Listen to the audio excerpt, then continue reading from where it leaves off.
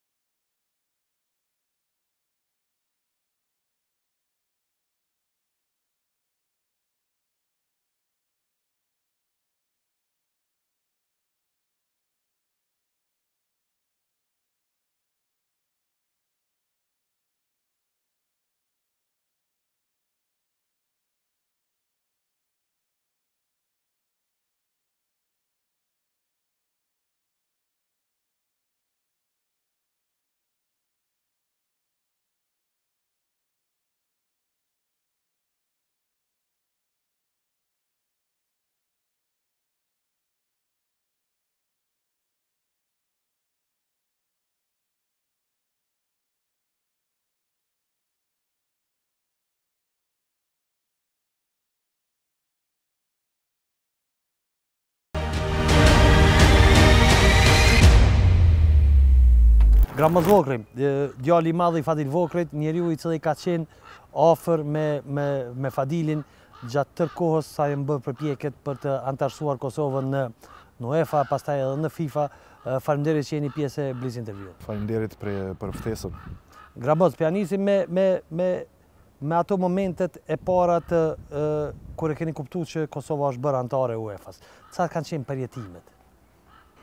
Ka qenë një përjetim i veçantë, ka qenë jo vetëm për ne si familje, por për krejt shoqërinë kosovare, edhe për shtetin, sepse ka qenë vula përfundimtare e shumë përpjekjeve. Natyrisht në ato momente m'u kanë kujtu shumë, shumë gjenerata të cilat kanë kontribu në mbajtjen e futbolit, në, në kohëra më të vështira, ndoshta. ka qenë një një lloj shlirimi, sepse kemi hasur në shumë vështirësi gjatë këtij rrugëtimit. Natyrisht që në atë moment nuk kom fjalë me përshkru, ka qenë krenari e jashtëzakonshme, gëzim i madh natyrisht edhe kjo ka mundur me u vërejt edhe në disa pamje, por është Ajo ndjesi kur të kur e kryejmë punën. Kjo ka qenë. Gramoz, domethënë ne i kemi marrë votat e nevojshme njëzet e tetë sa kanë qenë të, të do, sa, sa janë duhur për me për me për me u antarësu në UEFA. Sidoqoftë deri tek deri tek këto vota ka qenë një proces i gjatë i lobimit, i angazhimit, i, i takimeve, të cilat natyrisht që kryesisht i ka zhvilluar zoti Vokri dhe pa të pa Fadilin nuk kishin mujt me u bë. Ë çfarë janë ato detajet ë gjatë tërë kësaj këtij procesi që ju kanë që janë më interesante për me nda me opinionin publik, sepse faktin që jemi pranuar fjala fjala e dim, por atë rrugën pak me na e përshkru. Fillimisht është ndoshta për opinion, është mirë me sqaru që Fadil Vokri në këtë rast, ka, nuk e ka prit as vetë, që ky proces do të jetë kaq kaq i vështirë. Ka mendu që me me pavarësinë e Kosovës, ë ndoshta leht lehtësohet ky proces, por fatkeqësisht kemi kemi hasur në shumë vështirësi në një lobim të egër dhe të jashtëzakonshëm nga nga Serbia, sepse unë prapë sot mendoj që pas pavarësisë të Kosovës, ndoshta pranimi në UEFA, Është njëra prej ngjarjeve që ka vulos definitivisht shtetësinë e Kosovës. Nuk ka asnjë dyshim aty. Është ngjarja më e madhe në dhjetë vitet e fundit, të paktën. Ë ka pas disa takime jo të lehta, është e vërtetë, sidomos më kujtohet një tri katër ditë para kongresit, ka qenë sepse natyrisht në ato momentet e fundit lobimi ka qenë presioni ndaj zyrtarëve të UEFA-s dhe lobimi nga ana e Serbisë ka qenë I jashtëzakonshëm, ka do, do të thotë në ato momente telefoni nuk u ndalte në asnjë në asnjë moment. Edhe ka pas vërtet takime të tensionume, por Për çfarë takim të tensionuar e keni fjalën? Më kujtohet është ka qenë një takim me disa zyrtarë të lartë të UEFA-s, ku u bëjshin disa përpjekje se si me pregadit opinionin, se si të bëhet kjo pjesa përfundimtare e procesit, aty natyrisht që gjatë takimit, Ata njerëzit kishin telefonata të vazhdueshme. Presion të vazhdueshëm nga ana e Serbisë edhe një herë po e potencoj, nuk ka qenë as... I thërrnin në telefon gjatë takimit? Absolutisht. Zyrtarët e UEFA-s për mos të po, mos të proceduar. Po po ka ka ka qenë ka qenë situatë e jashtëzakonshme.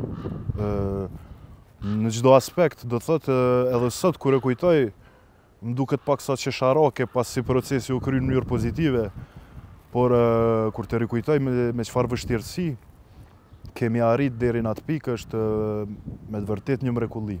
E thatë e tensionuar. Çka e bënte të tensionuar atë takim? Ishin të tensionuar zyrtarët e UEFA-s nga nga presioni që i bënte Serbia apo të tensionuar të gjithë ju, edhe ju edhe Fadili? Absolutisht, ka qenë ata zyrtarët në atë moment, ka qenë Mundem me imagjinu sa e vështirë mund të jetë një situatë e tillë për një individ i cili ka presione nga gjitha palët. Dhe kur po flasim për zyrtarë të UEFA-s, për çfarë rangu të zyrtarëve po flasim, në qoftë se veç emrat nuk mundesh me na i nda? Janë të nivelit shumë të lartë, do të thotë persona të tretë, katërt që vendosin, që kanë ndikim. Dhe ju, Vokrri, Fadili ishte në takim me ta. Isha edhe unë prezent në takim, ka qenë një takim në Zvicër, ky takim ka qenë 3-4 ditë para, para kongresit të, të sukseshëm që i kemi pas. Në atë moment është e vërtet që ka, ka ngjall, ai takim ka ngjall dyshime edhe nga ana jonë, sepse në fund fundit është një votim, do të thotë gjithçka është e mundër brenda kutisë se çfarë ndodh, përkundër premtimeve, përkundër lobimit përkundër shumë seneve, është mbetet fshehtësi ajo, sepse është votë e msheftë. Natyrisht, dhe tash përpos Serbisë e cila ka qenë kundër dhe sigurisht ka pas aleatë të saj. Ka pas edhe shumë shtetet e tjera përfaqësuara në UEFA të cilat nuk kanë qenë në mendje të ndarë për këtë punë. Si i bindët dhe kush ju ndihmoi më së shumti në bindjen e këtyre shteteve? Fillimisht është është e vërtetë që një pjesë ka qenë neutrale në këtë në këtë proces. Është një komunitet i jashtëzakonshëm shqiptar në Zvicër, edhe në Gjermani, i cili ka lobu vazhdimisht në çdo takim, në çdo moment të mundshëm. Këto shtetet neutrale zakonisht kanë qenë të udhëhequr nga ish futbollistë. Do të thotë muhabeti, gjuha ka qenë shumë më e lehtë sepse kanë qenë njerëz të sportit. Për çfarë shtete po flasim kryesisht Gramos në këtë rast? Në këtë rast e kam shembullin konkret të shtetit të Izraelit, i cili në atë kohë nuk e kishte njohur pavarësinë e Kosovës, po ashtu edhe Rumunia, të udhëhequr këto dy shtete nga ish futbollistë. Ata nuk ishin shumë në ngjarje. Pse vija politike e shtetit të tyre ishte kundër, kurse vlerat e futbollit janë krejtësisht tjera. Edhe kjo po mendoj që përfundimisht ka ka ka ndikuar pozitivisht fakti që gjuha e futbollit i then barrierat. Kur flasim për vlerat e futbollit, nuk ka më kombësi, nuk ka shtetësi, nuk ka aspekte racore apo politike. Dhe sa ishte i fort fakti që Fadili vinte nga bota e futbollit, ishte një futbollist, jo vetëm futbollisti më i njoftur kosovar dhe shqiptar, supozoj, por kishte një karrierë edhe edhe në ish-Jugosllavi dhe karrierë ndërkombëtare. Sa ndihmoi kjo që të në vendosjen e kontakteve, me UEFA dhe me FIFA, në bindjen e Platinit e besa dhe Blatterit. Është është një rast shumë shumë i kandshëm nën thojza, sepse ka qenë takimi i parë në në FIFA, në selinë e FIFA-s në në Cyrih. Edhe kur ardh koha e takimit, baba im u prezantu, unë jam Fadil Vokrri, Edhe zoti Blatter janë ja, ja nali fjalën konkretisht edhe i tha Tha zoti Vokrri në ndeshjen me Jugosllavinë ku i ke shënuar dy gola në nuk më kujtohet saktësisht viti në Sarajevë ka qenë ajo ndeshje me Irlandën. I tha unë kam qenë vëzhgues i asaj ndeshjes për FIFA-n, për UEFA-n, më fal. Edhe natyrisht që u relaksu muhabeti në atë moment. Po ashtu me Michel Platinin ka qenë një raport futbollist me futbollist.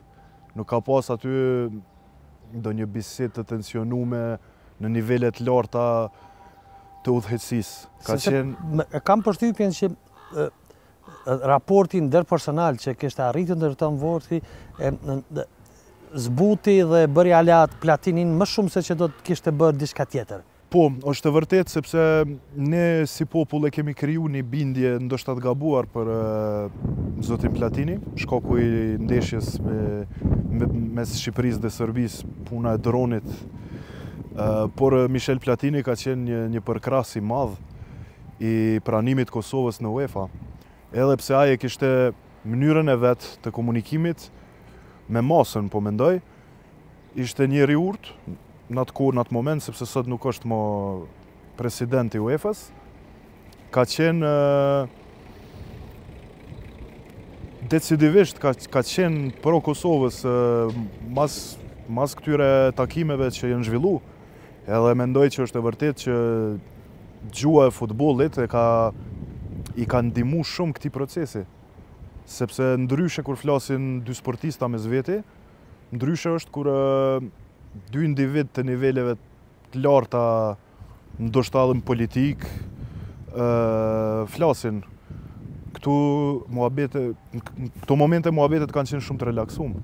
Po këto, këto janë ato momentet kur njohuritë ndërpersonale dhe aftësitë e komunikimit dhe profesioni në fakt kryejnë punë, ma shumë se, se çfarëdo lobimi, ma shumë se çfarëdo paraje e gjëra të tilla. Pra këto janë ato, ai kontributi i madh të cilin në fakt në këtë rrugëtim ka mundur ta japë vetëm Fadil Vokrri dhe askush tjetër për shkak të edhe aftësive të tij interpersonale, edhe faktit që ishte futbollist i i i i futbollist i njohur dhe e njihnin njerëzia.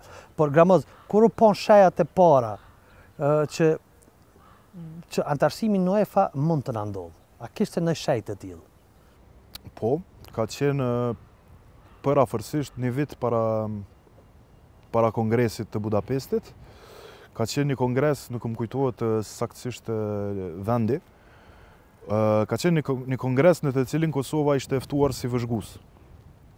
Dhe kjo ishte hera e parë? Hera e parë në historinë tonë të shkurtë, që na ndodhi një gjë e tillë. Edhe në fjalimin hapës, Michel Platini do të thotë e ka përshëndet praninë e Kosovës në këtë kongres. Edhe në mënyrë decidive ka përmend që Kosova shumë shpejt do të bëhet antari i radhës i atij institucioni. Kjo ka qenë një vjet para kongresit. Aty kam fillu me u, ka fillu me u vërejt, do të thotë tendenca pozitive e zyrtarëve më të lartë të UEFA-s sa i përket çështjes së Kosovës. Në anën tjetër, që ky paska qenë një sinjal i jashtëzakonshëm, ndonëse kemi pas Serbinë armike dhe në lobim të fuqishëm, kam një farë përshtypje që fakti që Vokri ka luajtur në Partizan, ka qenë atje një një lojtar i shkëlqyeshëm, ende e dojnë shumë në klubin Partizani edhe tifozët edhe nga pak ka ndikuar ndoshta edhe në njëfarë në, në njëfarë shuarje, shuarje të jo shuarje, po zbutje pak të, të, të kundërshtimit të Serbisë. A ka të vërteta në këtë mendim?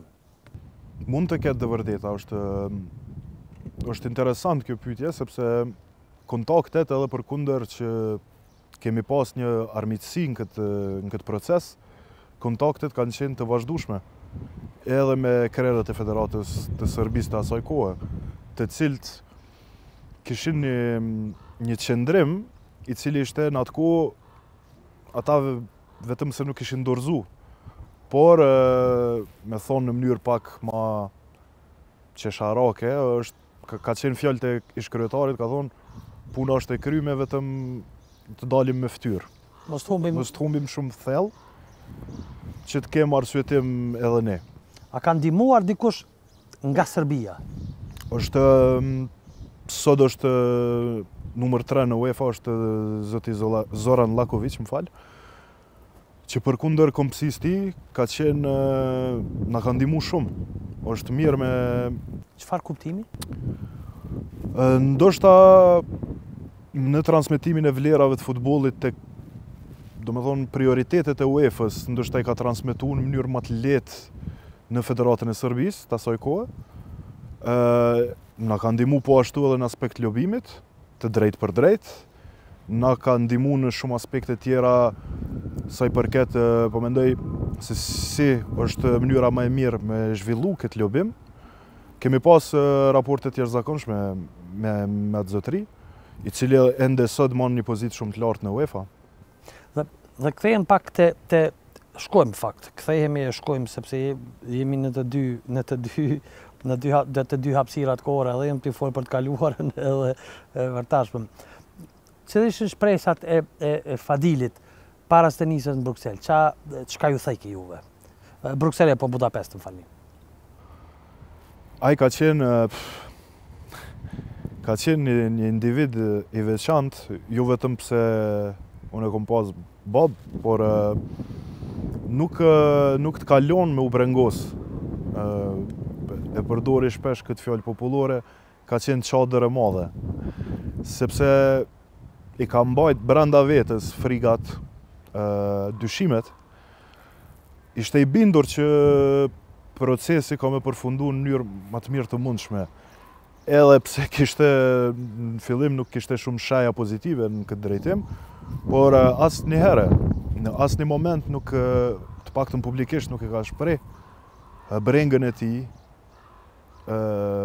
frikën, sepse natyrisht edhe ai ka pas dyshime edhe në disa raste të caktuara, por publikisht e ka mbajt një qëndrim i cili mendoj që i ka bo edhe njerëzit me besu që po është është e mundshme me u kry kjo punë. Dhe gjatë procesit atje ishte duket një votim diçka kur Kosova nuk nuk kaloi stadin e parë edhe të gjithë u frikum, mendum që nuk ishte anëtarësimi, ishim refuzuar për UEFA. Çka ishte votimi edhe çfarë reagimi kishte Fadili? A kishte komunikuar me të? Në fakt, është, është një situatë interesante kjo, sepse nuk kishim shumë info në atë, në atë moment se çfarë po ndodh saksisht brenda sallës. Ka qenë fillimisht për opinionin është mirë me potencu që për me u pranu në UEFA ka qenë një nen i cili ia pamundësonte Kosovës pranimin sepse për me qenë anëtare me të drejta të plota në UEFA Kosovës iu dasht me qenë anëtare edhe e Kombeve të Bashkuara gjë që nuk është ende aktualitet për ne. UEFA për me lehtu procesin e votimit Kishte vendosur ta hiqte këtë nen famëkeq, gjë që nuk kaloi. E në atë moment ky refuzim ngjalli shumë dyshime edhe tek ne, por jam i bindun edhe edhe tek babai im. Më kujtohet një rast ku në atë moment ia kishte dërguar një mesazh nënës sime, e cila ishte në Francë, Nuk është puna mirë. Ishte shkurt. Shkurt. Shumë shkurt. Kom komuniku me, me nanën, edhe ajo ma tregoj këtë, këtë ngjarje, edhe fillova edhe unë mu brengos. Deri, deri momentin kur e kuptum që ky ishte vetëm heqja e nenit, Por është e vërtetë që e vështirësonte procesin sepse faktikisht UEFA e ka shkel i ka shkel statuset e veta me pranimin e Kosovës. Dhe Gramoz, kur e kuptove, a e kuptove direkt Fadili dhe kur e kuptove që jemi pranu? Dhe më dha atë lajmin e artë, të themi kështu. Ngjarjen e kom përcjell, unë isha në Prishtinë, Kom... Shumë interesant që s'ke qenë atje. E kom përcjell... Mor Fadilja, s'ka ndodhë? Jo. A s'pate guxim me shku? Jo, jo, jo, më, më ftesën e kom pas, por nuk kom pranu për shumë arsye private. me qenë atje, edhe pse me zamër, edhe me shpirt, Kam qenë afër tij në atë moment, besoj sikur krejt Kosova. Sepse janë disa momente do ngjarje që frikësohesh mi përjetu nga frika që po dalin negative. Po është edhe kjo ndoshta pjesë e pjesë e këtij vendimit, por e kam përcjell ngjarjen nëpër nëpër mediumet tona. Edhe vetëm e dëgjojshim atë zotriun në fjalë duke i numëruar votat Edhe ishim në një situatë të pazakont, sepse të gjithë me njerëzit që e përcjellshim ngjarjen kemi qenë pak në stres edhe në ethe të, të vendimit përfundimtar. A të shkujt i fadidja, të lemrua, ta çeli telefonin? E, ma çeli telefonin, fillimisht ishte vështirë për ta marrë, ishte i paqasshëm, prej shumë thirjeve që i kishte në atë kohë. Më kujtohet vetëm që biseda ka qenë shumë e shkurt, edhe vetëm më tha u kry. Dhe kaq, ti Gramoz? Kaq. Unë fillova me, me fol, me uru, edhe vetëm ma voni u kry, po kom mujt me vrejt në në gjuhën që e ka përdorë në me zërin me të cilin ka fol që ishte i çliruar, ishte i gëzuar pa masë, por më shumë se gëzimi ishte i çliruar. Sepse mbante një presion të jashtëzakonshëm gjatë gjithë këtyre viteve. Dhe kur biseduat pastaj me Fadilin? Pastaj kur u qetësum prej euforisë, kisha me thonë, bisedum pas... A doli hiq nga çadra e tij? A e shpalosi gëzimin dhe emocionin? Se e kam njoft Fadilin, e di që ka qenë një çadër emotive. E shpalosi, por shumë pak. Do të thotë biseda e parë, që që e kom bo me të, më vonë është diku 3-4 orë pas pranimit e, duhet me potencu, që Fadil Vokri e shihte këtë proces vetëm si etapë, jo si përfundim apo si arritje me të cilën duhet me u vetëknaq, projektet kanë qenë shumë ma të mëdha, ma, ma të mëdha do të thotë në drejtim të zhvillimit edhe në mënyrë pak si shaka e ma boni, tha U kry kjo, kemi shumë punë tash. Kjo ka qenë qasja e tij e jo vetëm këtë moment, por edhe si prind, edhe si si karakter ka qenë i tillë gjatë gjithë jetës. Dhe si e priti familja lajmin, nana, posaçërisht e cila në një farë forme jetën e saj ia fali angazhimeve të Vokrit për futbollin dhe futbollin. Është është është situatë e pazakontë. Dhe personi i cili e kishte marrë një mesazh gjysëm pozitiv negativ në mes të rrugës. Sidomos kur më kujtohet ky moment, nana ka qenë në Francë, ka qenë vetë. Unë kam qenë në Prishtinë, motra ka qenë në një qytet tjetër të Francës, të gjithë ishim të shpërngulur nëpër vende të ndryshme. Edhe nana ime më thirri në telefon me lot gëzimi, Edhe ma tha një, një fjalë që më ka mbet, po vështirë ish me u gëzu veç vetë. Edhe kuptova se sa, sepse kur je i dëshpërum, mundosh me u fshi nga, nga pamjet e jashtme. A me u gëzu ki qejf me nda gëzimin me dikan. Edhe ajo u gëzu vetë në atë moment, plus duke pasur parasysh që disa orë ma herët e kishte marrë ajo mesazhin pak negativ, e, është një farë ashensori emocional në këtë në këtë kuptim, kështu që prapë në fund është është situatë që jemi gëzu të gjithë, pa marrë parasysh, jo vetëm ne si familje, por të gjithë kontribuesit e futbolit, edhe ndoshta edhe njerëz në Kosovë që nuk kanë ndonjë lidhje me futbollin, edhe ata janë gëzuar jashtëzakonisht shumë. Po jemi gëzuar të gjithë, ka qenë një ngjarje e jashtëzakonshme, ka qenë e barasvlershme me vetë E barasvlershme, me shpalljen e pavarësisë nuk nuk krahasohet asgjë, por ka qenë në nivel të, të afërt të të ngjashëm e barasvlershme me vendimin e gjykatës ndërkombëtare të drejtësisë që e e e në një farë forme e legjitimoi shpalljen e pavarësisë të Kosovës dhe është hapi ndër ma të mëdhenj që i kemi shënu si Kosovë Në arenën ndërkombëtare nga shpallja e pavarësisë këtej. Ka pas urime t'mdha, Kosova lajmi pushtoi mediat e botës. Çka është ndonjë gjë që e ke lexuar n'çatku ose që të ka ardh direkt, qoftë mesazh, qoftë bisedë, qoftë shkrim gazete që të ka marrë titull gazete, raport televiziv që të ka mbet në kohë nga ajo kohë. Qoftë urim direkt. Urime ka pos me mijëra. E di, që i thu, zgjedhe një cilin të shkon mendja. është një urim pak i veçantë, sepse ka, ka ardh prej, prej Francës. Se natyrisht miqtë e mi në Francë, edhe pse ndoshta për shumicën e tyre nuk kanë qenë asnjëherë në Kosovë, janë lidh shpirtnisht me çështjen e Kosovës. Do thotë kanë përcjell ngjarjen edhe ata live edhe m'u dukshin në disa momente e përjetojshin ma emotiv se ti. Ma emotiv se unë, se unë mundojsha, ma stresum se ti. Absolutisht. Sepse unë mundojsha paktën mos me qenë euforik, sepse i ke do tipare t'Fadilit. U mundojsha me qenë sa ma i matur në të në të shprehjen e emocioneve, por Urimet që i kom marrë nga miqtë nga Franca, aty e kom vërtetu që e përmend edhe ti ma herët, pas pavarësisë të Kosovës, ka qenë një moment i jashtëzakonshëm, i cili e ka, vul, e ka vulos përfundimisht shtetësinë e Kosovës, Bashkërisht mendoj me medaljen olimpike të Majlinda Kelmendit.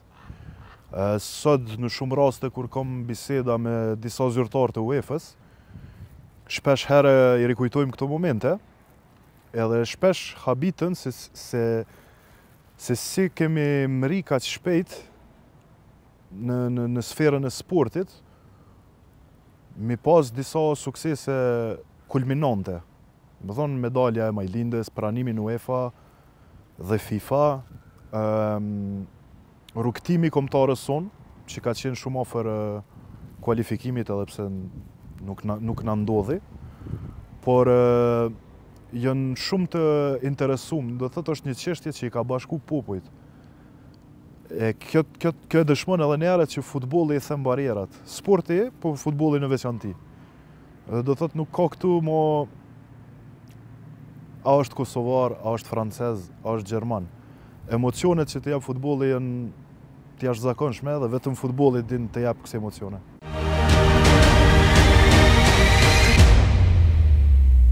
Elbert Krasniqi, minister i administrimit të pushtetit lokal, kam nderin dhe kënaqësinë që të kam pjesë të kësaj jave të Blic Interview.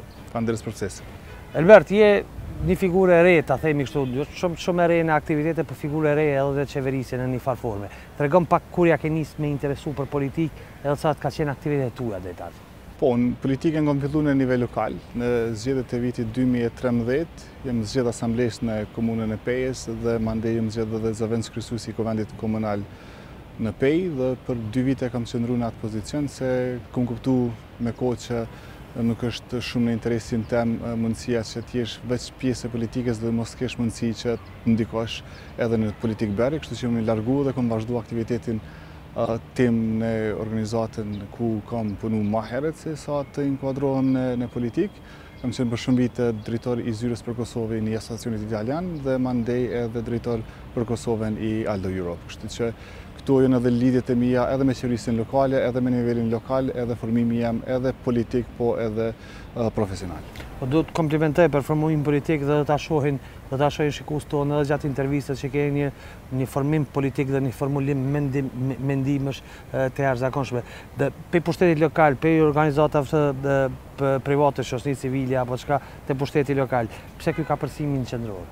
Mandej sfidat në subjektin politik në iniciativën e re demokratike të Kosovës, parti kjo e komunitetit egjiptian, që mbeti për një kohë dhe jashtë Kuvendit, ishte një prej arsyve pse fillova të shoh si sfidë kthimin në Kuvendin e Kosovës dhe këtë e arritëm në mandatin e kaluar në legislaturën e 7, u zgjodha kryetar i subjektit politik dhe hynëm në Kuvendin e Kosovës dhe ajo ishte një, një botë krejt e re edhe e politikës, edhe e vendimmarrjes, po edhe proceseve në të cilat kaloi legjislatura e 7. E keni ndërtu një afërsi politike, ta themi me Lëvizjen Vetëvendosje, me, me zotin Kurti. Ka, është shumë parimore. Në momentin kur unë u zgjodha deputet në Kuvendin e Kosovës, ishte situata ku u kriju për një moment që qeveria e atëhershme potenciale e Lëvizjes Vetëvendosje dhe LDK-s nuk do t'i ketë numrat e mjaftushëm të formojë qeverinë edhe hyrja e Nismës Socialdemokrate në kuvend, mandej e pamundësoi me numra që Këto dy subjekte të krijojnë qeverinë, edhe grupet etnike apo përfaqësuesit e komuniteteve për një moment u bënë shumë atraktivë, ndoshta edhe ma shumë se sa ishin në të vërtetë, edhe unë besova që nuk është e drejtë që vullneti i shumicës, vullneti i votuesve i cili zgjodhi fituesin të mos ketë mundësinë të formojë një qeveri dhe unë u ofrova pa kushte të Lëviza Vetëvendosje dhe zoti Kurti që të bashkëpunojmë në krijimin e qeverisë Kurti një. U tha parimore, ofrut pa kushte, këto nuk janë të zakonshme në politikën shqiptare dhe politikën e Kosovës dhe këtu nuk bën dallim deputetët e shumicës prej deputetët minoritetit. Pse Albert? Pse kur ke mujt me qit nji kusht edhe me përfitu? Ideja që unë të inkuadrohem në politikë edhe të marr pjesë aktivisht në politikë ka qenë që të ndryshohet edhe situata e rëndë edhe ekonomike, edhe sociale, mirëpo edhe pozicioni i komunitetit që unë e përfaqësoj. Edhe këtë për shumë vite, shumë përfaqësues të tjerë provun që ta arrin me kushtëzime, po e vetma që ndryshoi ishte Mirëqenia e tyne personale dhe jo e komunitetit. Dhe ju s'keni fare dert për mirëqenien tuaj personale, më shumë për për të komunitetit. Po, nuk po du të jem idealist as moralist, mirëpo besoj që shkon shumë paralel. Pak idealizmi s'shkon me politikën. Po, po besoj që shumë shkon edhe krahas njëra me tjetrën, për shkak se nëse Kosova zhvillohet, edhe komuniteti zhvillohet, edhe pozicioni jem edhe si përfaqësues do të jetë edhe edhe më i mirë. Kështu që ky është edhe parimi, Edhe mandej vendosa që të jem pjesë e qeverisë Kurti I edhe qëndrova stoik deri në fund. Si rrallëherë që bëjnë politikanët e vendose një parim u fute në qeverinë Kurti I por dhe nuk e votove dhe u bëre i njoftur për publikun kosovar shumë sepse nuk e votove shkarkimin e qeverisë Kurti.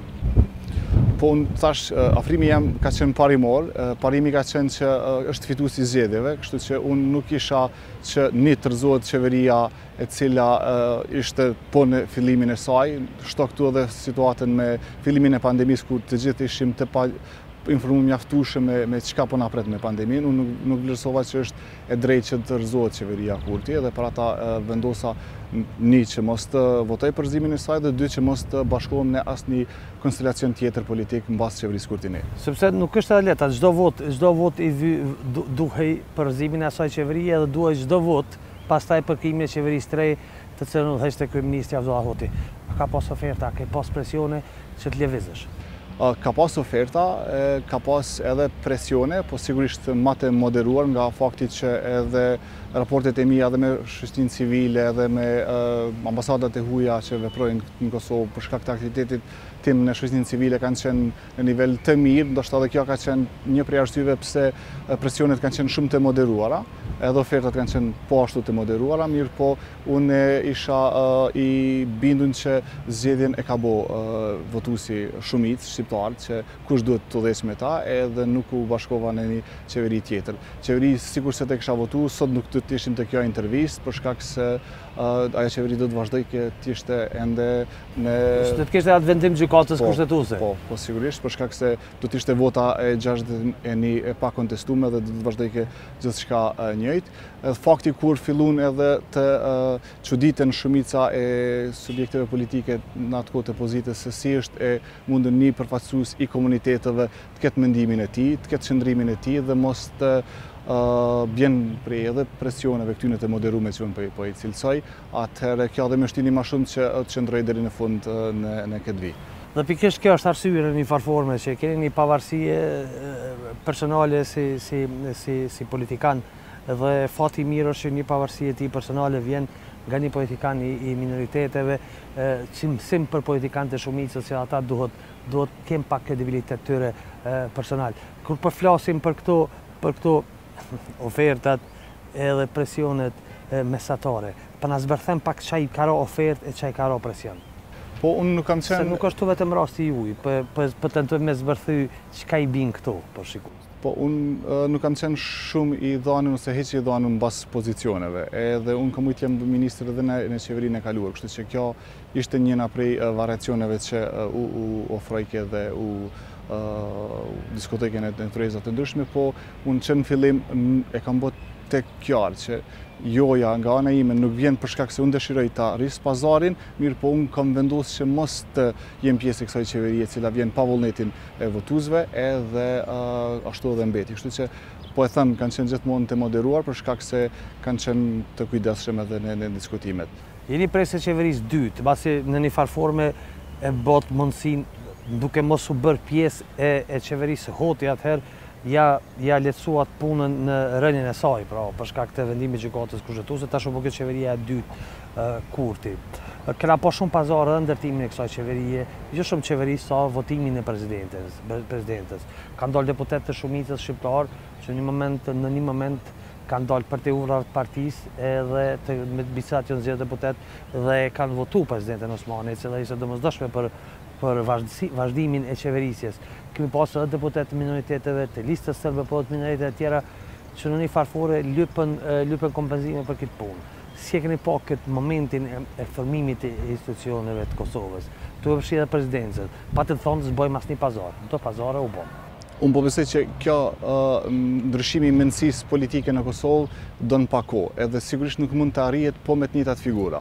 Edhe përfaqësues të partive të komuniteteve kanë vazhdu po me të njëtin... Që i bjen, a është të ndrojmë njerëzit që të ndrojmë mendësina, po? Dhe deri kur është kështu. është një proces afatgjatë, domethënë. është një proces afatgjatë, po besoj... Që është përfundon kur? Besoj që ka ndryshime. Ka ndryshime edhe aktualisht qeveria, edhe presidenta me të kaluarën, po edhe te komunitetet ka ndryshime të mjaftueshme. Edhe e mira e mësimit të mësum nga, nga leksioni i fundit është që edhe komunitetet kanë bërë zgjedhjen e tyre. Unë kam hy me 936 vota në kuvend në mandatin e kaluar. Tash kam përmbi 3000 vota. Ai që ka fitu 5000 vota përtej dyshimit se si ka fitu atëherë ato 5000 vota, kësaj here ka mbet jashtë Kuvendit. Pra ka ndryshu votimi i komuniteteve? Absolutisht po, domethënë tani kemi në Kuvend Kosovës 2-3 deputetë të rinj të cilët janë për herë të parë në këtë legislaturin, për herë të parë në politikë dhe unë besoj që edhe komunitetet tjera, sidomos ato të cilat kanë vazhdu edhe në pjesën e dytë të formimit institucioneve me avazin e vjetër që të vijnë në kuvend, mos të vijnë në kuvend, largohen para kohës, Duhet edhe komuniteti goran konkretisht të ketë një emancipim elektoral më të mirë, që të bëjë zgjedhje më të mirë. Pra, që çfarë po thoni ju, duhet të ndërtohet një njeri i ri që të kemi një një një një një qeverisje ndryshe dhe kjo kjo tendenca e ndërtimit të njeriu të ri është goxha një tendencë e vështirë dhe e rrezikshme dhe që e cila u pa dhe u sprovu që ka përfunduar në ta themi kështu në shtypje dhe në diktaturë. Unë besoj që më shumë se sa të krijohet njeri i ri, të jepet mundësia, të jepet mundësia, të jepet mundësia edhe të rinjëve, edhe subjekteve të reja të komuniteteve. Besoj që është e mirë për demokracinë. Fakti që ne hyjmë në Kuvend të Kosovës me shumë pak vota, kjo mandej po e krijon edhe një një klientelizëm tonin të llojit tonë, edhe po na krijon një farë komoditeti që na e dimë se si mund të hyjmë në në në Kuvendin e Kosovës në zgjedhjet tjera, kështu që Demokracia edhe te komunitetet është pjesë e demokracisë së përgjithshme në Kosovë. Jeni pjesë e një qeverie që udhëheq një parti që me vite me radhë ka thonë nuk shkoj në dialog. Tani, pastaj, tha jo po shkoj në dialog, por nuk shkoj në dialog pa më kërku falje Serbia e gjëra të tilla. Dhe tash po shohim që do të kemi një takim mes kryeministrit të Kosovës, Albin Kurtit, edhe presidentit të Serbisë në Bruksel. Po shkon pa asnjë prej kërkesave të cilat i ka përmend që nuk i bënë. Dhe prap po pyes, a jeni aty me bë ndryshimin se kështu po ndryshojnë vetëm fjalët e qeveritarëve? Unë jam i bindur që ky diskutim apo dialogu me me Serbinë do të jetë ndryshe, do të jetë ndryshe. Unë dua shumë të dëgjoj mendimin tuaj edhe për shkak se jeni pjesëtar i komunitetit. Unë jam i bindur që zoti Kurti do të jetë negociatori më i mirë që ka pas Kosova deri më sot. Edhe jam i bindun që dialogu me Serbinë do të jetë në formatin tjetër për shkak të faktit edhe të qasjes që ka kryeministri i Kosovës në raport me dialogun që ne nuk jemi temë, po jemi palë. Edhe unë jam shumë i bindun që kjo edhe do të qëndrojë deri në fund. Edhe format tjetër, po është dasht me kon, është dasht me u pa një format tjetër me faktin që është nis dhe kjo po nis sikur ka qenë me përpara. Besoj që nuk është sikur më përpara, pat tendenca që të shkohet edhe më herët, edhe ne kërkuam kohën tonë edhe pregatitjet e qeverisë për dialogun dhe unë besoj që ky dialog do të jetë ndryshme për faktin që nuk do të nënshtrohem sikurse edhe në diskutimet që kanë ndodhur deri deri me sot. Po thatë nuk nënshtrohem, nuk nënshtrohem, nuk i nënshtrohemi Serbisë, nuk i shkojmë pak këto, nuk i shkojmë pak këto, nuk i shkojmë pak këto dhe jap. në tavolinë. Cilat janë problemet kryesore të këtij dialogut? Problemet kryesore të këtij dialogut janë marrëveshjet jo të mira të arritura deri me sot. Kështu që koha edhe përpara e pregatitje. Në të ta themi kështu, në të njëjtin, në të apo kyçemi në të njëjtin tren por në një vagon ndryshëm dhe me një udhëtar lojtar tjetër. Unë jam i bindun që ky dialog i ka ndryshimet e saj, jo veç për faktin se kemi një kryeministër të ri që ka mbështetje edhe në Kuvend, mirëpo edhe për qasjen që e ka ndaj dialogut. Unë jam i bindun që dialogu nuk ka alternativë. Ne duhet të diskutojmë, duhet të diskutojmë me Serbinë, duhet të zgjidhim problemin. Por kishte Vetëvendosja. Dialogu me Serbinë kishte alternativën tjetër që thoshte dialog me serbët lokalë. Uh, unë po, po ndalem pra, ishte pjesa... Pra, alternative unë ishte pjesa uh, kush janë serbët lokalë sot. Serbët lokalë sot është Lista Serbe në Kuvendin e Kosovës. Kështu që dialogu me ta nuk është as me ta. Kështu që unë jam i bindun që ne duhet... Serbët lokalë nuk janë vetëm Lista Serbe. Serbët lokalë nuk janë vetëm Lista Serbe, po... Serbët lokalë nuk janë vetëm Lista Serbe, po serbët të cilët përfaqësohen në Kuvendin e Kosovës, në institucionet e Kosovës janë vetëm nga Lista Serbe. Dhe kjo është realiteti, dhe me te nuk besoj që duhet dhe mundemi të arrijmë në dialog, për shkak se ata nuk e kanë pavarësinë edhe në, në dialogim, po varen drejtpërdrejt prej, prej Beogradit. Çka pritni nga dialogu? Pritni marrëveshje të shpejtë? Unë besoj që marrëveshja duhet vjen në kohën e duhun dhe shpejt dhe ngadalë nuk mund të krijoj një definicion çka është edhe shpejt dhe çka është ngadalë, të jem shumë i sinqertë, mirëpo jam i bindun që nuk do të krijojmë marrëveshje e cila do të krijojë telashe sikurse që kemi pas marrëveshjet në të kaluarën dhe me të cilat ne sot ballafaqohemi, me të cilat edhe unë si ministër në një ministri me një portofolio shumë modeste ballafaqohem në përditshmërinë time. A do të ketë zajednicë edhe shkëmbim të territoreve? Nuk do të ketë zajednicë, për shkak se vendimi i Gjykatës Kushtetuese ka vërtetu ato çka edhe Lëvizja Vetëvendosje për shumë kohë ka deklaru që nuk është në harmoni me parimet kushtetuese, është shkelë për mbi 23 herë parimet kushtetuese në atë marrëveshjen e zajednicës së kalume, edhe nuk mund të ketë zajednicë njëetnike në një shtet multietnik. Krejt çka ne deri sot kemi prediku në Kosovë, është Kosova është shtet multietnik i të gjithëve dhe nuk mund të krijojmë prej një momentit etni të veçanta në një shtet multietnik. Elbert, tash po dalim te kjo, një temë është bërë se me vite radhazi, jo vetëm Vetëvendosja, po ne si gazetarët kemi luftu këtë idene e hyrjes me të ngjofshëm, një lloj nepotizmi, jo vetëm nepotizëm në kuptimin e administratës civile, por edhe për faktin që partitë politike, ata personat më të fortë që kanë qenë, gjithmonë të afërmit e tyre i kanë zonë pozita, të afërmit e ministrave, të afërmit e të fortëve në parti politike, i kanë zonë edhe këto pozita të cilat janë politike. Po ju pyes, a i njeh krejt familjarët e tu, Mos të ka hi najnjë në punë najkah s'pe din? Unë i njof krejt familjarët. Shpi, tezet, dajt e nipat. Unë i njof krejt familjarët. Edhe në emisionin tim të parin pas zgjedhjes kom deklaru që nuk do të ketë as teze, as dajë, as halla, as kushëri. Domethënë ti i paske përnjëmend ata vetëm për dasma, jo si një pjesë e Vetëvendosjes që i paska pak edhe për punë. Nëse më thrasin në dasma, me shumë dëshirë shkojmë pas pandemisë, mirëpo në ministri nuk është asnjë familjar i imi, jo vetëm në ministrinë që unë udhëheqi, po edhe në në qeveri, në pozicione të tjera ku komuniteti dhe subjekti im politik është pjesëmarrës, asnjëri nga ta nuk është familjar i imi dhe nuk do të jetë familjar i imi. Armend Zemaj, ish-ministër i Shëndetësisë, faleminderit që jeni pjesë e Blitz Interview. Për këtë javë do ta trajtojmë siç po duket do të na bëhet shprehi kjo në prill e në ka fundi marsit me trajtu temën e koronavirusit. Faleminderit shumë për ftesën. Fatkeqësisht po, akoma po jetojmë në një gjendje pandemike. Koronavirusi prezent i rrezikshëm, i rrezikshëm për jetë, për shëndetin, por duhet ta menaxhojmë dhe ta tejkalojmë në mënyrën më të mirë. Gjithë bota ishte e frikuar dimrit. Thonim ky dimër ka me qenë shumë i vështirë e shumë i rrezikshëm e mundësia e përhapjes së koronavirusit është më e madhe, flisnin infektologët e të gjithë ata Çka po na ndodh neve që na dimrin e kaluam pak ma shlirë e në mars, në pranverë, në pranverë po mshelemi. Jo, nuk e kem kalue më lehtë dimrin, ishte periudha e fundit të nëntorit dhe dhjetorit, pothuajse ishte e njëjtë e vështirë, e përzier edhe me gripin sezonal, por në trajtimin më të mirë të mundshëm, me punë, përkushtim, profesionalizëm, e tejkaluam, hymë në një fazë tjetër, fatkeqësisht marsi ka rezultuar me rritje të lartë të numrit të të infektuarve dhe kjo është gjendja reale tash pandemike në vend. Para se me hi me i komentu masat e reja, meqenëse ia nisëm kështu me këtë dimrin e gjëna të tilla po vazhdojmë. Është e vërtetë që dimrin nuk është që e kemi kalu krejtësisht lehtë, pra nuk kemi qenë pa pandemi.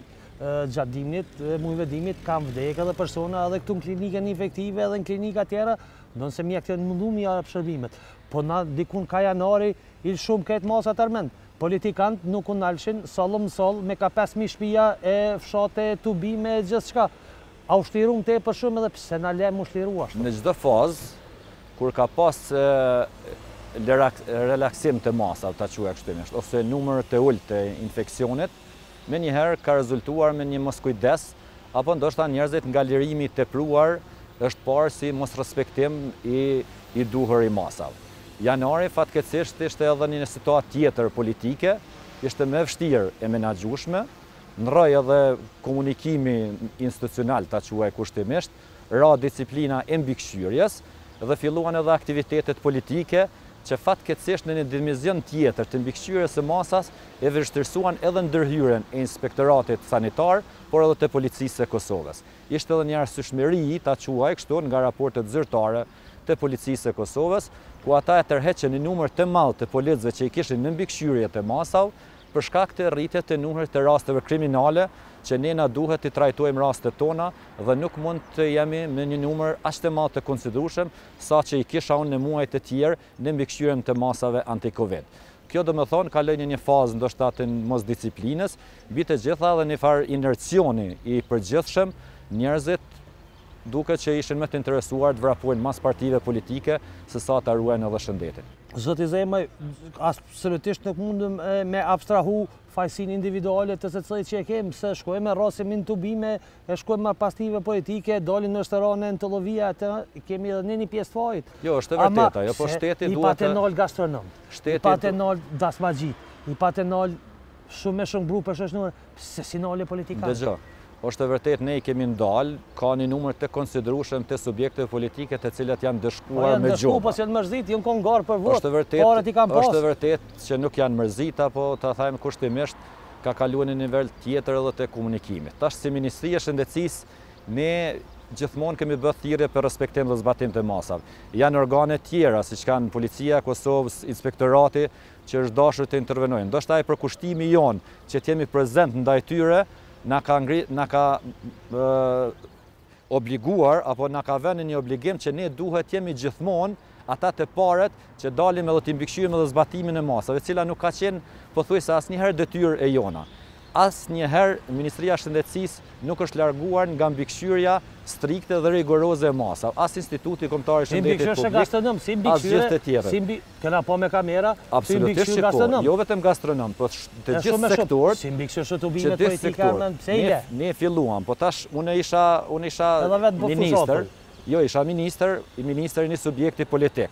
Dhe në momentin kur edhe këtë e kemi analizuar, në momentin kur prezenca jonë Apo edhe intervenimi jonë atëherë kalojke në një diçka politike dhe apostrofoheshim për t'i penguar aktivitetet e subjekteve të ndryshme politike. Kjo ishte edhe një handicap, ndoshta ta quaj kushtimisht, ishte edhe, e kom thonë, nga fillimi një politizim i skajshëm i pandemisë, i cili filloj nga qershori kur ne e kemi marrë qeverinë, dhe sot shihet pak ma ndryshe dhe ju po e shihni edhe nga raportet ditore që dalin, është një elaborim ose një pasqyrim i gjendjes krejt ndryshe, nga ajo me të cilën neve jemi përballur me sulme të vazhdueshme, sidomos nga subjektet politike të cilat vetë nuk i kanë respektuar masat, ndërsa kanë kërkuar përgjegjësi nga neve shpesh herë që ne të jemi ata të cilët duhet t'i mbikëqyrim apo të kërkojmë zbatueshmëri strikte të masave. Jo, mosrespektimi i masave ka qenë ni dështim total i gjithë klasës politike dhe aty veç mundëm me kqyr kush ma shumë e kush ma pak, kush ka pas njerëz ma shumë në salla e tribuna e kush ma pak, ama një pyetje e kam marrë mend. Ka filluar keq, ajo çka është... Ka filluar keq, pse hjeke... Na ke pas mësu me ato zonat e kuqe gjelbërta me këtë regjimin e semaforit për pandemi, pse hjeke këtë regjimin e semaforit dy qysh bash qatë pushon? Jo, nuk është hequr, nuk është hequr, në po, projekcionet, në projekcionet që i kem pas nga instituti komtar... Dhe ka faj kjo punë në rritjen e masave? Vetëm ta shpjegojmë. Se tani do dalin po, të masë Vetëm lejomë, në, në po, projekcionet që kishim nga instituti komtar i shëndetit publik. Po ashtu dhe në konsultimet që kom marrë nga bordi. Muaji janar ishte muaj që lëvizshim pozitivisht. Domethonë, ishte rikthimi në universitete i studentëve, rikthimi i menzës, rikthimi disa aktiviteteve, ato ishin planifikimet tona. Planifikimi për të filluar fushata ishte 4 shkurti, ndërsa fatkeqësisht fushata filloi shumë ma, ma herët. Domethonë, ishte një dyjavësh i cili ndërhyri në planifikimin tonë që ishte numri i ulët i rasteve, për të kthyer aktivitetet apo për të lejuar disa disa disa aktivitete. Bënë semaforat jo. gjelbër gati. Jo, jo, nuk nuk janë hequr, nuk janë hequr, kufizimet pothuajse kanë mbetur të njëjta, është hequr ora policore në të kuqen, dhe kjo nuk duhet të keqkuptohet sepse sepse po ka është shtuar nga ora 9 deri në orën 10 për shkak se është parë e nevojshme mos të ketë strikt të mbyllet, sepse kur u mbyllke në ora 10 dhe filloi kjo ora policore në orën 10, atëherë kishte dilema se si do të shkojnë njerëzit nga aktivitetet e tyre te shtëpia. Për këtë arsye, ka lëvizur një gjysmë orë, apo të them një 45 minutësh që të krijohet mundësi e lëvizjes, lëvizjes së lirë. 40 masa kanë qenë në fuqi deri te masat e reja dhe asnjë masë nuk është larguar, apo ashtu siç është apostrofuar. Dhe tash i kemi masat e reja. Numri, Qysh i komenton masat e reja? Tash dalim te masat e reja. Numri i, i rritur i pjesëmarrësve në takimet e hapura nga 50 në 80, ka qenë shumë minimal. Domethënë ka qenë vetëm në objektet, në vetëm në, në, në, në, në hapësirat e hapra, ku mund të ketë distancë, mund të kontrollohet për shkak që ne e pamë edhe ashtu që ka aktivitete të cilat bishin ndesh me, me, me masat në, në fuqi. A i parapriju kjo papërgjegjësi të themi e klasës politike, po edhe një ndalje e mbikëqyrjes nga policia, Gjëra tjera, a i parapriu situatës kur qeveria e sotme e ka pas të detyrume me marrë këtë vendim ku në fakt disa sektorë mbyllen totalisht. Shiko, kjo muaj, nëse, nëse e llogarisim me punë ditësh apo me punë javësh, ka kaluar faza e fushatës. Domethënë ka kaluar po, një po, po. të caktuam, sepse projeksionet tona, projeksionet tona edhe të asaj kohë, ne e kishim pragun maksimal se ku do të mbërrijë infeksioni. Edhe me, edhe me këto, me këto kapacitetet e, kapacitetet e mbikëqyrjes, edhe me këtë lloj mbikëqyrje, çfarë, çfarë neve e kishim në fuqi.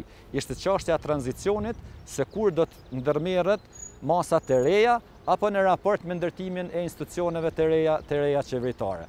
Ajo çka është evidente është që ne e kemi të njohur punën e virusit. E kemi një vit me pandemi në Kosovë, e kemi fazën totale të mbylljes në Kosovë, e kemi atë hapjen të cilën unë e kom trashëgu dhe kanjëherë nuk po përsëritet ose duhet të thuhet hapjen e tërësishme dhe Ajo tendenca që të ketë edhe takime, tubime ose mospranim të virusit dhe infeksioni i rritur në muajin qershor, gusht, deri në korrik dhe deri në gusht kur ne pothuajse arritëm me me me mund edhe me Armend, pe ti në informatat që i keni. A është veç gastronomi, gastronomia e qendrat tregtare që po përhapin virusin se veç ato dy qysh po po goditen. Jo, nuk është, nuk është kështu. Për këtë arsye unë kam paralajmëruar që ndërmarrja e masave nuk duhet të jetë në afekt ose në ndikim politik. Ndërmarrja e masave të reja apo çfarëdo mase që që merret duhet të studiohet, duhet të analizohet saktë, të diskutohet faktikisht me trupat profesionalë, unë nuk e di pse nuk është mbledhë Komiteti për Menaxhimin e Pandemisë, nuk e di. Po, e kom pa se s'ka pas takime, nuk o di pse, nuk e di pse nuk jon konsultu profesionistët, nuk e di raportet. Më thoni që ky vendim është marrë krejtësisht pa konsultim të profesionistëve? Nuk e di raportet, nuk kom dëgju, domethënë duhet ata të shpjegojnë. As Lul Rakën s'e kanë pyt? Nuk, nuk, nuk besoj, nuk kom pa raporte zyrtare ose komunikim zyrtar që jon diskutu ajo praktikë të cilën neve e bëjshim për javë të tëra, i analizojshim apo i saktësojshim se ku do të mbërrijnë, edhe nëse ndërmarrin një masë dhe çka do të bëhet pas lirimit të asaj mase, ose për një muaj të tërë, ishin statistika të qarta, i analizojshim vendet e rajonit se si po rrjedh infeksioni, sepse ti mund të mbyllesh, ndërsa kur është i krejt rajoni hapur dhe komunikimi i lëvizjes,, prapë do të përballesh me infeksion. Andaj kjo punë don Se pa të mbyllë, edhe ti mbyllë Shqipnia ishte e hapur zoti Zemaj.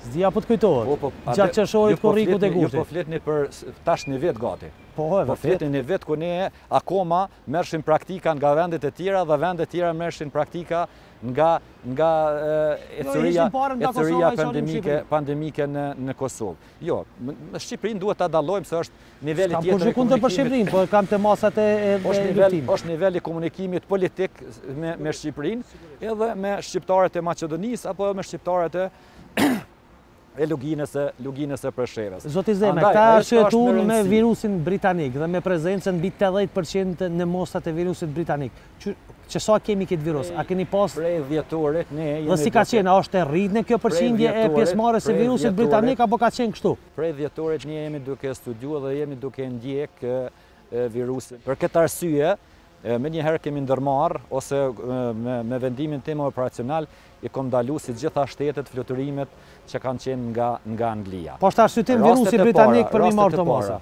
Nuk mendoj, nuk mendoj, se çdo rritje e infeksionit e ka një lloj arsyetimi. Po nuk mendoj që duhet të atakohet një një strukturë ose duhet të merret për bazë infeksioni i ri për të ndërmarrë masat e, masat e mbylljes. Andaj kjo duhet të shihet si tërësie. Ndoshta ndoshta iu është ofruar ministrit të ri si si arsyetim, por si do që të jetë, si do që të jetë, mendoj që masat duhet gjithmonë të konsultohen dhe mbi të gjitha të planifikohet ku do të arrish ti pas dy jave ose pas, pra, një muaji. Mund të arrijmë diku pas dy jave zoti zoti Zemaj sepse ju keni ndërmarrë masa. Për mos të ndëshkuar, për mos të ndëshkuar sektorë të veçantë, ose mos të ketë ndikim selektiv dhe ku shihet pabarazi, edhe ekonomike, edhe politike, por edhe njerëzore që mund të arrijë edhe në nivel psikik, te menaxhimit, te menaxhimit të terrorizmit. Ç'është e vërteta pabarazi, pabarazi ekonomike ka shumë moti në masat anti-Covid, ka industri që që fare nuk janë hap. S'kanë mujt me punu. Pra një po ka industria e dasmave për shembull e kuptueshme, por s'ka mundur të punojë asnjë ditë. restoraneve të mëdha, salla të dasmave, s'kanë mujtë punojnë asnjë ditë, e kuptushme pse. Dasmave, ne Por, kemi u patën bo dasma gati çdo natë nëpër Prishtinë. Neve e kemi theksuar dhe e kemi potencuar që industria e dasmave mund të fillojë pas vaksinimit të suksesshëm dhe kthimit në normalitet në një pjesë të mesit të këtij viti, ku do të jetë e volitshme për gjithë qytetarët e vendit. Ndërsa sektorët tjerë ekonomikë, Edhe në pikun e pandemisë, nën menaxhimin tonë, prodhimi, bujqësia, blegtoria, të gjitha këto nuk i kemi nuk e kemi ndalë. Jo, ka sektorë selektivë, të cilët tash janë ataku, edhe ne e kemi analizu, sepse për këtë arsye thashë duhet të takohet komiteti për menaxhimin, aty ku e ki edhe ministrin e tregtisë, aty ku e ki edhe shoqatën e gastronomëve, aty ku e ki edhe shoqatën e edhe odat e, e, ekonomike, aty ku e ki edhe blegtorët, edhe bujqësinë, ku i ki edhe informatikën edhe gjithë të tjerë. Domethënë, është një, një front i përbashkët ku ti merr të gjitha inputet edhe analizon në aspektin profesional, por jo në aspektin politik në zyrat politike. Kjo është kjo është shkatërrimtare, edhe kjo është shumë e keqe për menaxhimin, menaxhimin e, e pandemisë. Andaj edhe njëherë, unë kom bo thirrje edhe pra vazhdoj bëj thirrje, Masat duhet të jenë në dorë të profesionistëve. Analiza. Dhe ministri është, ministri është profesionist i shëndetësisë. Ministri është ministër i shëndetësisë, është njeri politik. Pavarësisht profesionit të, të caktum. Mund të jetë edhe akademik në shëndetësi, po është politik dhe i nënshtrohet vendimeve politike. Andaj masat janë profesionale, masat janë dhe duhet të jenë të studiuara mirë, duhet të merren të gjitha inputet, të bohen analizat edhe analogji edhe me vendet e rajonit, mos të harrojmë, po e përmendi pa modesti, në shumë segmente të menaxhimit të pandemisë dhe ndërmarrjes së masave, ne jemi bërë shembull edhe për vendet perëndimore. E përmendët kategorizimin me zonat verdh, gjelbër, të kuqe. Gjermania e ka marrë, unë e kom raportin zyrtar. Ja, kanë nisë më herët atë. Unë e kom marrë. Kanë pas më herët. Unë e kom marrë, e kanë pas në një formë tjetër. Kanë pas më herët. Formën e tretë, të cilën e kemi përdorë ne, e kanë marrë. Përdorimi i maskave, udhërrëfyesi për për për maskën, është marrë nga vendet e rajonit, nga Republika, nga Republika e Kosovës. Andaj praktikat e mira siç i kemi marrë ne prej vendeve tjera, ashtu i kanë marrë dhe kjo duhet duhet të duhet të ecet bashkërisht por mbi të gjitha me qytetarët e Kosovës, me profesionistët shëndetësorë, ju po e shihni edhe nga ky nga ky ambient. Jemi në një situatë tjetër, Pse po e përmendi si duhet me analizu, sepse ju po e bëni një, një krahasim me qershorin, Në qershor pothuajse nuk ka pas asgjë në menaxhimin e pandemisë. Nuk ki pas respiratorë, s'ki pas shtretër, s'ki pas resurse humane, nuk ki pas teste, nuk ki pas kapacitete testuese. Dhe sot ti frigohesh nga virusi i ri, por sot mundesh me i bo deri në dhjetë mijë teste në ditë. Ndërsa në qershor, korrik dhe deri në mesin e gushtit Ne mezi i kemi bo ka treqind katërqind teste në Por bje ka të dhëna që spitalet janë tu u mbush, tu u mbush. Spitalet gjithmonë, gjithmonë kanë qenë tendencë për të, për të mbushur. Për këtë arsye, nëse ne kemi një shpërndarje të infeksionit në një zonë të caktuar, Instituti Kombëtar i Shëndetësisë Publike punon pothuajse 24 orë në ditë. Ata njerëz hulumtojnë, gjurmojnë, hulumtojnë kontaktet. Mundësitë e testimeve të njerëzve dhe shpërndarjes së infeksionit janë sot shumë të mëdha. Sot gjashtë qendrat rajonale të Institutit Kombëtar të Shëndetit Publik mund të bëjnë teste PCR. Atëherë pse mbyllje? Më shumë se njëqind mijë teste. Atëherë pse kjo mbyllje? Ose dyqind mijë teste. Atëherë zoti Zemaj pse kjo mbyllje? Dyqind mijë teste antigjen rapid ne i kemi i kemi në dispozicion i kemi lanë te Institutit Kombëtar dhe te QKMF-ve për ta identifikuar dhe për ta ndjekur për ta ndjekur virusin. Pse është kjo mbyllje, mund të jetë në logjikën, në politikën e kësaj qeverie, të cilën unë e kom menduar dhe prapë e shpreh është gabim dhe do të rikthehemi në pikën zero, është rrezik për shëndetin mendor, pavarësisht rrezikut për shëndetin ekonomik, por është edhe mbingarkesë e madhe për profesionistët shëndetësorë.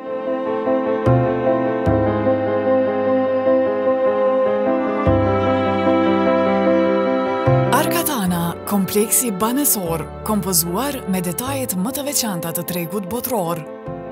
Nëse thonë që njeriu jeton një herë, atëherë, ajo vlen të jetohet në kompleksin Arkatana. Arkatana është i vetmi kompleks që i dedikohet jetës familjare me të gjitha hapësirat e veta. Ne kemi bërë përzgjedhjen e veçantë me karakteristikë të dizajnit bashkëkohor. Një tejkalim i aspiratave jetësore, vendi ku do të ndihemi me fat të jeni pjesë e botës së suksesshme. Arkatana, një parajsë me infrastrukturën më të veçantë në Kosovë, eja dhe merr më të mirën. Arkatana, kompleksi banesor Gjilan. Arkatana,